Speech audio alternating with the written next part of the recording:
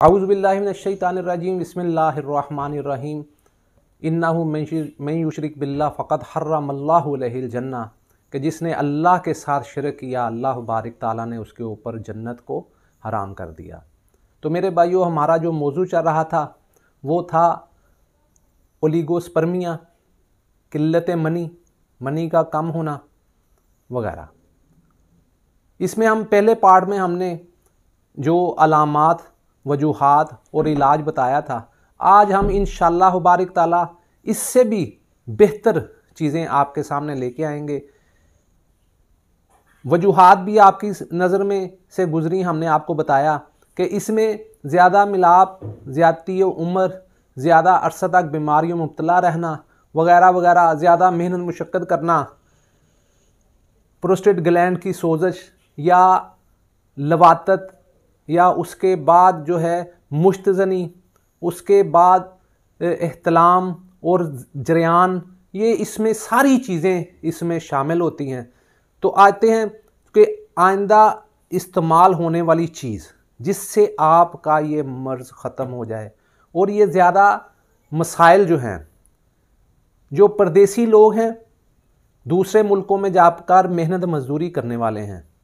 उनको भी ये ज़कावत हिस्स में ज़्यादती की वजह से भी ये अमराज सामने आ जाते हैं कि बहुत ज़्यादा जरियान हो जाता है। तो उस वजह से ये अमराज सामने आ जाते हैं। और यहाँ पर ये जो, जब मैंने सारी चीज़ें बताई हैं, ये भी इसमें अहम रोल अदा करती हैं। उसमें आपने क्या करना है कि मगज़ बादाम, मीठे हों, इनके छिलके उतार लें। छिलके उतारने का फौरी तौर पर तरीका है कि गर्म पानी करके बादाम में मगज़ बादाम के ऊपर डालेंगे थोड़ी देर, वो दो तीन मिनट में उसके छिलके नरम होके वैसे हाथ से मलेंगे तो वो उसके छिलके उतर जाएँगे। ये आप बीस बदले लें मगज़ फंदक, ये भी बादामों की तरह का छोटे छोटे दाने होते हैं। मगज़ फंदक आपने बीस अदद ले लें। नशास्ता, जिसे अरा रोट भी कहते हैं, ये आप दो तोले ले लें। इसको नरम आग पे आप रख के पकाना शुरू करें। उसमें सालम मिश्री, दो माशे डालें बैमन सफ़ेद चार माशे डाल लें, शिकाकल मिश्री दो माशे डाल लें। ये आपको पंसारी की दुकान से आराम से मिल जाएँगी। इनको आप बरीक करके, ये एक खुराक में आपको बता रहा हूँ। बरीक पीस कर इसको मिलाकर खीर बनाकर आप इस्तेमाल करें। इन बारिक ताला, ये ओलीगोस्पर्मिया का जो मर्ज़ है, किल्लत मनी का जो मर्ज़ है इन बारिक ताला, ये आप इस मर्ज़ से छुटकारा पा लेंगे।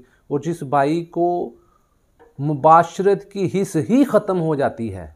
अल्लाह की रहमत और फजल से इस नुस्खा के इस्तेमाल से दोबारा उसका दिल ज़िंदा हो जाएगा। दिल में ख्वाहिशात पैदा होनी शुरू हो जाएँगी।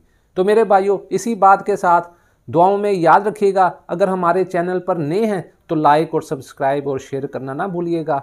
अल्लाह मुबारक ताला से दुआ है। अल्लाह ताला हमें दुनिया और आखिरत में कामयाब करे। अल्लाह हाफिज़। अस्सलाम